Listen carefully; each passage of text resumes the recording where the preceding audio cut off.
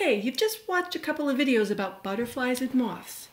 Now, here's a question I'd like you to answer in your journal.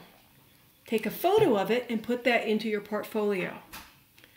I want you to make a list. What are two differences between butterflies and moths? They look similar, but they are not the same. What are two differences?